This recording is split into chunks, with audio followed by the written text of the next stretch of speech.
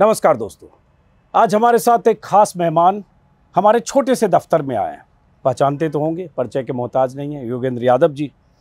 और अक्सर हम योगेंद्र यादव जी से अलग अलग मुद्दों पर, चाहे किसानों के मुद्दे पर, चाहे बेरोजगारी के मुद्दे पर, चाहे देश की किसी समस्या पर, या देश के राजनीतिक हालात पर, या मोदी वर्सेस इंडिया पर, या विपक्ष की एकजुटता पर, या विपक्ष की बिखरती ताकत पर, या विपक्ष बनाम सत्ता पर बात करते रहते हैं लेकिन अक्सर जो हमारी बात होती रही है आज तक वो ऑफलाइन बात होती रही। नहीं सॉरी ऑनलाइन बात होती रही है। ऑफलाइन ऑनलाइन में कंफ्यूजन है। मतलब अब तक हम जूमियाते रहे हैं या फुनियाते रहे हैं। जी फोनियाते जुमियाते हैं। बतिया रहे हैं। स्ट्रीम यार्ड पर अलग अलग उससे बात करते रहे।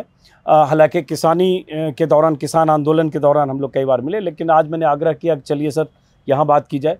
तो ये छोटी सी हमारी छत है। इसी छत पर हमारा छोटा सा दफ्तर है। यहीं हमारे सहयोगी बैठते हैं और यहाँ बहुत सारे बार बार छोटा छोटा कह रहे हैं मुझे याद आता है एक सुंदर किताब होती थी स्मॉल इज़ ब्यूटीफुल जी। शुमाकर की। जी। तो स्मॉल इज़ ब्यूटीफुल तो स्मॉल इज़ ब्यूटीफुल इन्होंने कह भी दिया जगह है और ये हमारी पहचान यहाँ के फूलों और गमलों से है।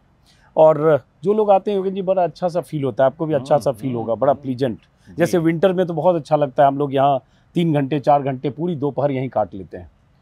तो अच्छा लगा होगा। निश्चित जैसा मैंने कहा आते ही मुझे महसूस हुआ। एक अपनापन और इसलिए कहीं बाहर बाहर किसी बड़ी जगह जाने की ज़रूरत नहीं है। छोटा है सुंदर है अपनापन है इस। सुंदर है और सुंदरता को बढ़ावा देने के लिए सुंदरता में चार चाँद लगाने के लिए तरह तरह के फूलों के गमले और गुलदस्ते और बहुत कुछ यहाँ है। खैर ये मेरा शौक भी है मेरी हॉबी भी है। गार्डनिंग और फूलों की जो तरह तरह की किस्में उस पर काम करना लेकिन आज हम राजनीति की बात करें इसलिए बाह के नए मुद्दे पर आते हैं। तो योगेन जी को मैंने इसलिए अनुरोध किया कि आज जरा मिला जाए बात की जाए। देश में जो हालात चल रहे हैं चुनाव में अब बहुत गिनती के दिन बच गए 19 अप्रैल को पहले दौर का चुनाव शुरू हो जाएगा तो कहें तो अब क्या है 20 दिन 21 दिन बच गए पहले दौर के चुनाव में और चार जून को नतीजे आ जाएँगे। और उसके पहले बहुत सियासी हलचल देश में हो रही है। एक बड़ी घटना कहें परिघटना कहें जो भी हुआ केजरीवाल की गिरफ्तारी, दिल्ली के सिटिंग चीफ मिनिस्टर की गिरफ्तारी। गिरफ्तारी और गिरफ्तारी के बाद आज अदालत में फिर से उनको कोई राहत न मिलना और चार दिन की रिमांड फिर ईडी को आज उनकी मिल गई। हालाँकि आज एक दिलचस्प वाक़या हुआ कि केजरीवाल जी ने अपनी तरफ़ से अरविंद केजरीवाल ने अपनी दलीलें खुद रखी। बहुत कुछ कहा, ईडी पर आरोप लगाया। तो मुझे लगा एक ये मुद्दा है। दूसरा, विपक्ष की कैसी तैयारी है? बार बार अगर प्रधानमंत्री मोदी के नारे हैं बीजेपी के नेताओं के अब की बार 400 पार। तो विपक्ष की क्या तैयारी है? क्योंकि विपक्ष लगातार बहुत कुछ तैयारियाँ करता हुआ इंडिया गठबंधन की एक मोर्चेबंदी तक पहुँचा, लेकिन क्या उस इंडिया गठबंधन की मोर्चेबंदी में कुछ दरारें भी हैं? जैसी एकजुटता छः आठ महीने पहले थी, वैसी है क्या? ऐसे बहुत सारे सारे सवाल हैं उसी पर आज जरा योगेंद्र जी से ऐसे यहाँ चर्चा करेंगे। थोड़ी सी और उसके बाद एक हमारा स्मार्ट बोर्ड है योगेंद्र जी। स्मार्ट बोर्ड पर हम राज्यवार भी थोड़ी बात करेंगे। कि किस के साथ साथ आप भी स्मार्ट हो रहे हैं। सब कुछ स्मार्ट हो रहा है आजकल तो। देखिए उम्र बढ़ती है तो आदमी टेक्नोलॉजी से कई बार दूर होता है लेकिन मैं। सोचता हूँ कि उम्र बढ़े उसके साथ साथ आप टेक्नोलॉजी के करीब जाइए। और जो चीज़ें दुनिया भर में हो रही है हाँ, हाँ। चूँकि हमारे जो सहयोगी हैं सारे युवा हैं बल्कि कई बार मैं कहता हूँ तीन लड़कों की उम्र जोड़कर उसमें पाँच सात कम कर दो तो मेरी उम्र होती है। तो युवाओं के साथ रहकर मैं भी कोशिश करता हूँ। तो हम राज्यवार वहाँ भी बात करेंगे स्मार्ट बोर्ड पर। पहले यहीं से कि आज आपको पता चला होगा केजरीवाल को फिर से चार दिन की रिमांड मिली।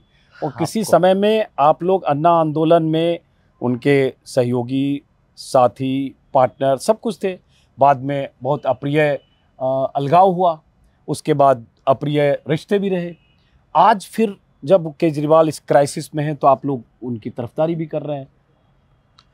उनकी नहीं सच की। उन दिनों भी सच की तरफदारी करते थे अपनी तरह आज भी कर रहे हैं।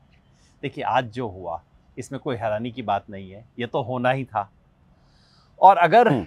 कहीं ईडी से उनको जमानत मिल भी गई कोर्ट वोट से तो सीबीआई दरवाजे पे खड़ी होगी दूसरा केस शुरू हो जाएगा क्योंकि ये हम्म। जो हो रहा है हम्म। इस सब का न्याय भ्रष्टाचार की जाँच कानून इत्यादि से कोई संबंध। नहीं है बिल्कुल सीधा मामला है। अंदर करना है। और नेता को तोड़ना है उसका साथियों के समर्थकों के मनोबल को तोड़ना है हम्म। उसकी पार्टी को तोड़ना है और अंततः उसकी सरकार को तोड़ना है हम्म। इससे मतलब है हम्म। और जब ये आपकी आँख के सामने हो और उस और एकदम ऐसे वक्त में तोड़ना है जब चुनाव सिर पर हो बिल्कुल जब आचार संहिता लागू हो चुकी है इस देश में। कम से कम एक पीरियड हुआ करता था जहाँ। था कि भाई यहाँ कुछ मर्यादा बरती। जाएगी जब वहाँ हो रहा हो तो फिर ये चुनाव थोड़ी है भाई ये कोई ओलंपिक की कुश्ती नहीं है ये जो हम्म। हमारे बच, याद है आपको बचपन में शहर में कुछ फ्री स्टाइल कुश्ती होती हम्म, थी हम्म। जिसके अंदर दर्शक भी दो चार लगा दिया करते थे और। रेफरी भी पहले से मन। बना के आता था कि इस बार तो किंग कॉन्ग को ही जिताना है। या फलां को जिताना है और आखिर में उसका हाथ खड़ा कर दिया करता था ये वो वाला हो रहा है देखिए इसे चुनाव ना समझिए कुछ दूसरी तरह का दंगल घना घमासान हो रहा है और जब ये हो रहा हो उस वक्त आप कहें नहीं दस साल पहले इस व्यक्ति ने मेरे साथ ये किया था इसलिए मैं ये करूँगा उससे निकृष्ट चीज़ तो हो नहीं सकती ना। उन्होंने जो किया वो वो जाने उनकी आत्मा जाने। प्रशांत जी के साथ किया आनंद कुमार के साथ अजीत झा के साथ वो जाने उनकी आत्मा जाने। मेरा उसमें हम्म, क्या मतलब? हम्म। मेरा मतलब ये है मेरी आत्मा का संबंध इससे है कि जो आज हो रहा है वो केवल आज की बात नहीं है। इससे पहले जब उपराज्यपाल ने गलत काम किए हमने विरोध किया। जब आम आदमी पार्टी ने गलत नीति बनाई हमने तब विरोध किया। जब शराब की पहली बार ठेके बढ़ाए गए थे तब हमने विरोध किया था। हमने कहा था गलत काम कर रहे हो। लेकिन जब उसका बहाना लेके उपराज्यपाल ने किया हमने उसका विरोध किया। कम से कम इतनी तो न्यूनतम मर्यादा होनी चाहिए अजीत भाई। दिक्कत यह है कि हमारे सार्वजनिक जीवन से मर्यादा बस बिल्कुल निकल ही गई है। सिर्फ़ खुंदक का खेल है। आ, तो हम कहते हैं भाई आप इसके साथ हैं। इसके साथ नहीं है। लोकतंत्र बचाने के लिए आज हम्म। जो मर्यादा की आवश्यकता है उसके साथ हैं। और अगर इस घड़ी में भी आज साथ नहीं हो सकते ऐसी स्थिति में फिर क्या मतलब है सार्वजनिक जीवन में रहने का? फिर ये सत्य और ये सब तो संविधान, ये तो सिर्फ़ बोलने की बात है। सही बात। तो अब सवाल ये उठता है योगेंद्र जी?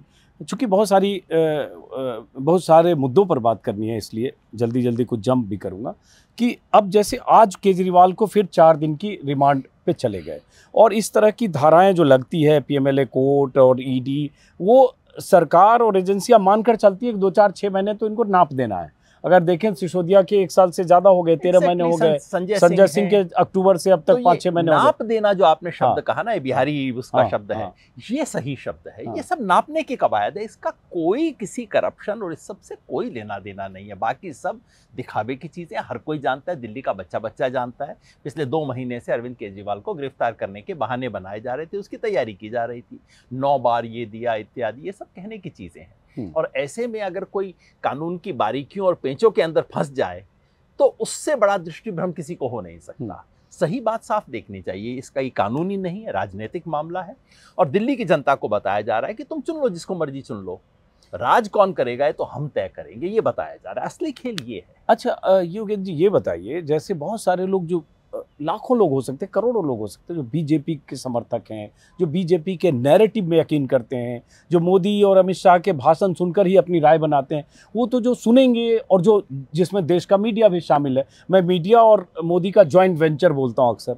तो इस जॉइंट वेंचर को देख जो छवि और इम्प्रेशन बनाते हैं, वो तो कहेंगे, भाई ये शराब घोटाला तो हुआ है बीजेपी वाले कह रहे हैं सौ करोड़ का लेन देन हुआ ये गोवा में पैसे खर्च किए और ये विजय नायर ये कनेक्शन ये सब। तो जब ये सब हुआ तो फिर गिरफ़्तार हो गए जेल गए तो इसमें गलत क्या है? इसमें क्यों इतना हाई तोबा छाती पीट रहे हैं? अजीत भाई अ, पहली बात मैं स्पष्ट कर दूँ जैसे मैंने कहा सन 2015 में आम आदमी पार्टी की शराब नीति जब बन रही थी पहली बार ठेके बढ़ाए गए थे हम उसका विरोध किया था। तो शराब नीति का तो मैं समर्थन कर नहीं सकता। दूसरा मैं यहाँ बैठ के उनको क्लीन चिट दूँ, इसका कोई मतलब नहीं बनता है। ये मुद्दा है। इसका कोर्ट फैसला करेगा, कोर्ट में जाइए, कोर्ट में जाँच होने दीजिए, कोर्ट को मुकदमा चलने दीजिए और अंततः कोर्ट अगर तय करता है कि नीति गलत थी और इसमें भ्रष्टाचार हुआ है और फला ए बी सी इसके जिम्मेवार हैं, उनको सजा निश्चित मिलनी चाहिए। अरविंद केजरीवाल ने या योगेंद्र यादव ने कभी भ्रष्टाचार विरोधी आंदोलन किया हो तो उससे उनको भ्रष्टाचार के आरोपों से जीवन भर मुक्ति नहीं मिल जाती। अगर किसी की एक जाँच हो तो मेरी तो दो जाँच होनी चाहिए। बिल्कुल ठीक बात है। और एक क्षण के लिए आप मान लीजिए कि शराब की नीति में घोटाला हुआ, भ्रष्टाचार हुआ। मेरा प्रश्न ये है, क्या उस आधार पर आप किसी व्यक्ति को या राज्य के मुख्यमंत्री को चुनाव के दौरान गिरफ़्तार करना अनिवार्य है? कानूनी ताकत है तो हम जानते हैं। गिरफ्तारी क्यों होती है? दो कारणों से होती है। बिल्कुल सामान्य नियम है। मैं कोई लंबा चौड़ा कानूनदा नहीं हूँ। नंबर एक आप जाँच के दौरान गिरफ्तारी इसलिए करते हैं कि आपको लगता है कि बंदा भाग जाएगा। अब आप मुझे बताइए अरविंद केजरीवाल भाग जाएगा? मनीष सिसोदिया भाग जाएगा? संजय सिंह भाग जाएगा? मेरी सहमति असहमति कुछ भी हो। मैं उनका घोर विरोधी हूँ। लेकिन ये कहना कि ये भाग जाएँगे तो मतलब तुक की बात नहीं है। दूसरा आधार ये होता है कि आप एविडेंस को डिस्ट्रॉय कर दोगे।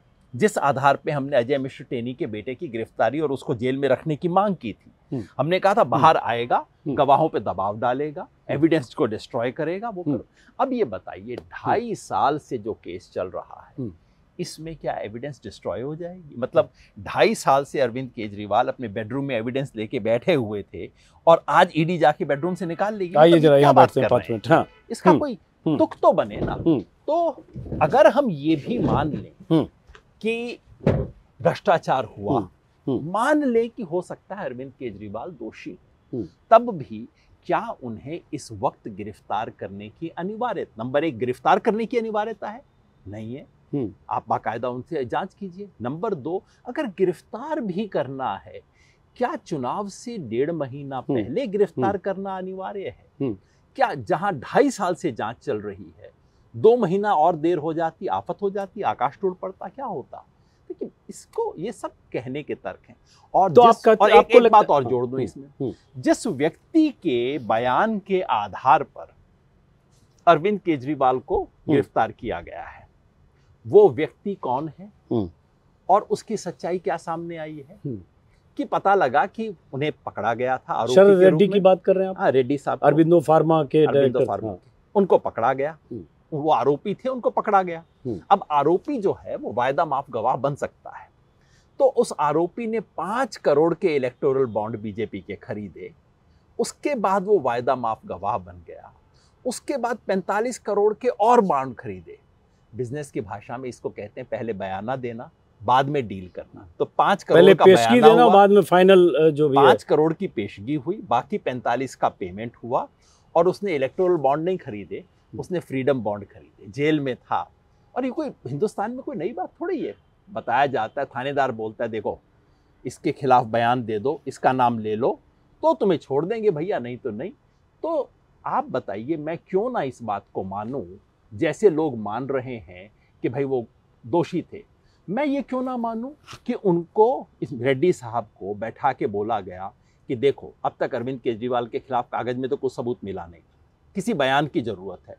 तुम बयान दे दो, तुम्हें वायदा माफ़ गवाह बना देंगे, तुम्हारी छुट्टी हो जाएगी। हाँ थोड़ा थोड़ा खर्चा पानी तो करना पड़ेगा। तो पचास करोड़ का खर्चा पानी हुआ, इतने में डील हुआ। इस आधार पे आप गिरफ़्तार करें। और मज़े की बात ये कि इस देश में कुछ लोग ऐसे थे, जिनके बारे में सिर्फ़ गवाह नहीं, जिनके बारे में लिखित थे कि गुजरात के माननीय मुख्यमंत्री को किस दिन कितने बजे कितने करोड़ रुपए पहुँचाया गया। वो एक डायरी में लिखा था। अगर इस आधार पर गिरफ़्तार करते हो, मान लीजिए, एक क्षण के लिए मैं मान लेता हूँ कि चलिए, आपको गिरफ़्तार भी करना अनिवार्य है, दोषी है, गिरफ़्तार करेंगे। तो आप इतना तो मानिए, इतना तो मांगिए कि ऐसे हर व्यक्ति को आप गिरफ़्तार करेंगे। फिर हमारे माननीय अजीत पवार जी का क्या होगा?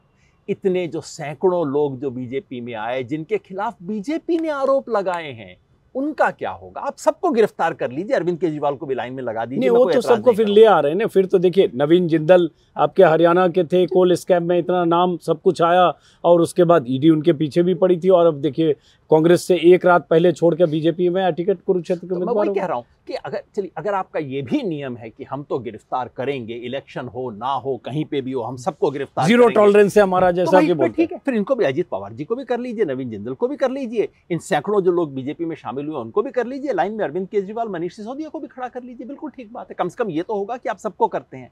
और कोई ये भी पूछ लेगा कि ये जो सहारा डायरी में जिन माननीय गुजरात के मुख्यमंत्री जी का नाम आया था उनको क्यों नहीं गिरफ़्तार किया गया? अगर शक की बिना पे गिरफ़्तार करना था तो कीजिए ना। हम्म। देखिए ये सब कहने की बातें हैं सच ये है और हर व्यक्ति को पता है हर बच्चे को पता है कि घुमा फिरा के अरविंद केजरीवाल को नापना है। और नापना क्यों? खाली नापना नहीं कोई व्यक्तिगत खुंदक सिर्फ़ नहीं है। असली खेल है हम्म। पार्टी तोड़ना सरकार को तोड़ना। झारखंड में क्या हुआ? सिर्फ़ कोई केजरीवाल वाला मामला नहीं है। झारखंड में क्या हुआ? हम्म। हिमाचल में क्या कोशिश हो रही है?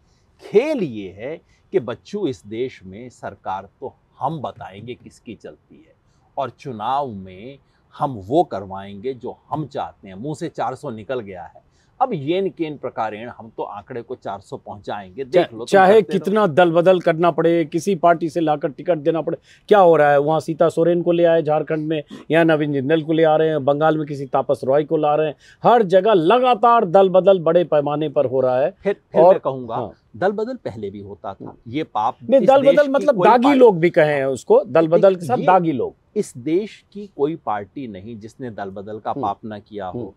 दागी लोगों पे भी थोड़ा बहुत आँख मूंदने की परंपरा दुर्भाग्यवश इस देश में काफ़ी हम्म। समय से चल रही है जो बीजेपी की नया योगदान है इस देश के लोकतंत्र में वो ये है कि कनपटी पे बंदूक रख के कहना हम्म, हम्म, वो याद है ना उस फ़िल्म के अंदर डायलॉग था हम्म। कि ये बैलेट ये बॉलेट है हम्म। और ये बुलेट हम्म। तू चुन लो चुन तो लो क्या इनको ये बताया जा हम्म। रहा है कि भैया ये हम्म, ये बुलेट है हम्म, और बैलेट है तुम चुन हम्म, लो कहाँ हम्म, जाना है हम्म, ये हम्म, पहली बार हो रहा है और ये जो हम्म। बिल्कुल खुल्लम खेल जो हमें अब इलेक्टोरल बॉन्ड में सामने आया है हम्म। और इस पे हम्म, कांग्रेस वालों ने बिल्कुल हम्म। सही कहा है हम्म। कि ये प्रीपेड स्कीम है हम्म। पोस्ट पेड स्कीम है हम्म। पोस्ट रेड स्कीम है हम्म। बेनामी स्कीम है हम्म, चारों में से हम्म, कोई स्कीम हम्म, चुन लीजिए हम्म। ये जो चारों हम्म। स्कीम है प्रीपेड मतलब पहले इलेक्टोरल बॉन्ड खरीदो और उसके एक हफ़्ते बाद एक महीने बाद आपको अपनी पसंद का ठेका मिल जाएगा। हम्म। जरा कस्टमर पे भरोसा हो तो पोस्ट पेड स्कीम आती है कि नहीं पहले ठेका दे देंगे तुम बाद में इलेक्टोरल बॉन्ड सौ करोड़ के खरीद लेना। और तीसरी है पोस्ट रेड आज छापा पड़ेगा और आप पे एक हफ़्ते बाद आप इलेक्टोरल बॉन्ड खरीद लेंगे मामला रफा दफ़ा हो जाएगा सब कुछ ठीक कर दिया जाएगा। और फिर चौथी बेनामी स्कीम है। कि जिसके जेब में एक पैसा नहीं वो डेढ़ डेढ़ सौ करोड़ रुपए के बॉन्ड खरीद रहा है। अरे भैया कहाँ से आ रहे हैं? इस सच को छुपाने के लिए ये सारी नौटंकी इस वक्त देश में हो रही है। और अगर हम आँख खोल के ये नहीं देख पाए हम्म। तो हमसे बड़ा मूर्ख कोई हो नहीं सकता है। और अगर हम ऐसे में कुछ पुराने अपने दुख तकलीफ़ खट्टी मीठी यादों को आने दें तो हमसे बड़ा दोषी कोई हो नहीं सकता। लेकिन योगेंद्र जी, ये कई बार आपको लगता है कि जैसे इतना कुछ आया इलेक्ट्रोनिक बॉन्ड चंदा दो, धंधा लो और दुनिया भर की थ्योरी आई और वो उसका एविडेंस है। मतलब ऐसे हवा में नहीं है। मतलब जैसे शरद रेड्डी की कहानी है ऐसे बहुत सारी कहानी है कि भाई किसी के यहाँ ईडी का रेड पड़ा और उसने इतना करोड़ दिया और उसके बाद ईडी से मुक्ति मिल गई। बहुत सारी कॉरपोरेट कंपनियों के बीसों वीडियो हम लोग भी बना चुके लेकिन लगता है कि चुनाव में इतना बड़ा मुद्दा बनेगा। सवाल ये है। देखिए मुद्दा बनता नहीं है। मुद्दा तो बनाया जाता मतलब जनता इसको उस तरह से लेगी इस आधार पर फैसला करेगी। जनता लेगी बशर्ते जनता को पता लगे। कल मुझसे कोई मेन स्ट्रीम मीडिया की आई थी महिला, बड़ी मासूमियत से पूछ रही थी कि जनता को पता लगेगा क्या? मैंने कहा, बहन जी, आप बताएँगी तो पता लगेगा, आप नहीं बताएँगी तो कैसे पता लगेगा? अब आप इतनी मासूमियत से मुझसे पूछ रही हैं।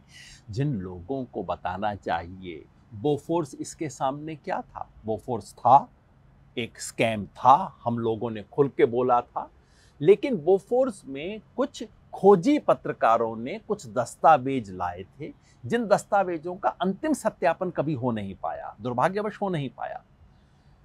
ये राफेल का मामला या दूसरे इस देश के बड़े बड़े स्कैम थे टू जी हम्म। टू जी अंततः क्या था? कि वो इस देश के सीएजी ने एक अनुमान लगाया था कि ऐसा इतना घाटा होने की संभावना है। उसको कोर्ट ने कभी नहीं माना। ये तो अनुमान या एलिगेशन नहीं है ना ये तो एविडेंस है। तो एविडेंस और एविडेंस की शुरुआत कोर्ट से हो रही है। और चीख चीख कर एविडेंस दस्तावेज़ तो कह रहे हैं कि इसमें क्या ट्रांजैक्शन गुंजाइश ही नहीं है सोचने की। हम्म। अब ये सच देश की जनता तक पहुंचेगा या नहीं? अगर देश की जनता को ये पता लग जाए कि भैया एक बड़े वाली प्रीपेड और पोस्ट की स्कीम भी चल रही थी बिल्कुल असर पड़ेगा। और ये जो तमाम छवि मोदी जी की जो बनाई गई है ना खाता हूँ ना खाने देता हूँ अरे भाई इस आदमी के ना कोई आगे ना पीछे अरे भाई 18 घंटे काम करता है जब ये सच पता लगेगा। इक्कीस साल से सोए ही नहीं है। और और ये और सोए नहीं छुट्टी नहीं ली इक्कीस साल से माफ़ करिए। इक्कीस साल से छुट्टी नहीं ली माफ़ करिए सोए नहीं है स्लिप ऑफ़ टंग क्योंकि इसको काट के बीजेपी आईटी सेल वाले कुछ और कहे। माफ़ करिए इक्कीस साल से छुट्टी नहीं ली हाँ। तो ये जो तमाम तरह की छवियाँ बनाई जाती हैं। उन छवियों का सच और जो पिछले पाँच सात दिन से अब एक एक कहानी निकल रही है।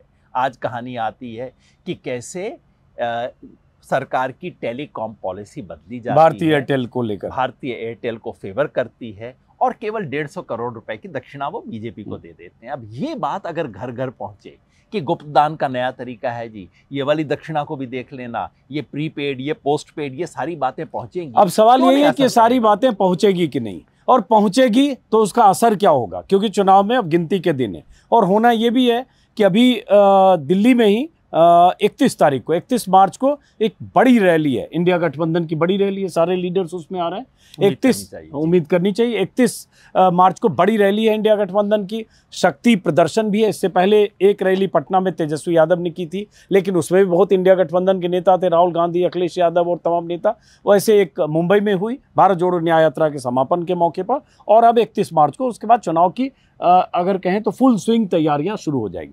तो अब जरा हम चलते हैं योगेंद्र जी को लेकर उस अपने स्मार्ट बोर्ड पर और स्मार्टली जरा समझने की कोशिश करते हैं कि तस्वीर क्या बनती दिख रही है आज की तारीख में। बार बार मैं भी कहता हूँ आज की तारीख में क्योंकि स्थितियाँ चुनाव के पाँच दिन पहले, चार दिन पहले बदलती है। एक बात और योगेंद्र जी हर समय कहते हैं मैं सेफोलॉजी करना मैंने बहुत पहले छोड़ दिया मैं एक पॉलिटिकल एक्टिविस्ट की तरह सामाजिक कार्यकर्ता की तरह बात करूँगा नंबर पर नहीं सामान्यतः एक मैं वैधानिक चेतावनी देता हूँ आज दो हैं हम्म। एक तो ये है कि भाई मैं भविष्यवाणी नहीं करता छोड़ दिया 2012 में छोड़ दिया था उसके बाद से मेरा काम नहीं है हम्म। भविष्य बनाने का काम करता हूँ बताने का नहीं।